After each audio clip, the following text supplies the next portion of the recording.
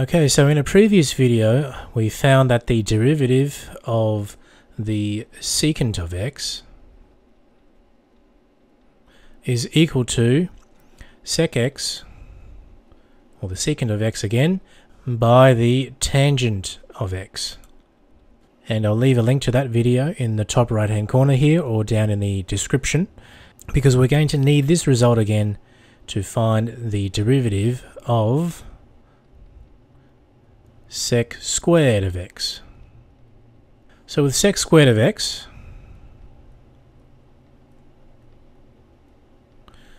which is really the shorthand writing of the sec of x, secant of x squared, we have a case of a function being squared, the function being u of x equals sec x. So in order to differentiate the secant squared of x, my first strategy would be to use the chain rule.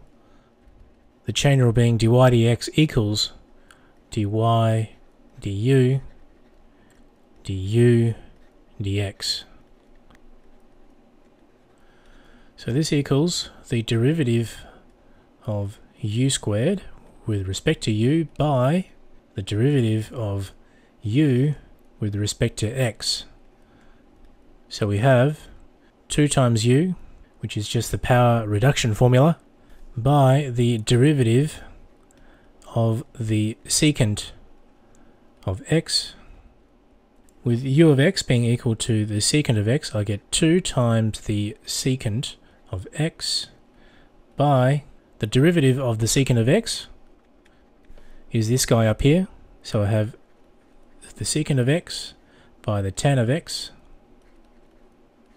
And thus the result is the derivative of the secant squared of x equals 2 times the secant squared of x by the tan of x. This is a very useful result which we'll refer to again in future videos. So add that to your table of derivatives, like, subscribe and share and I'll see you on the next video.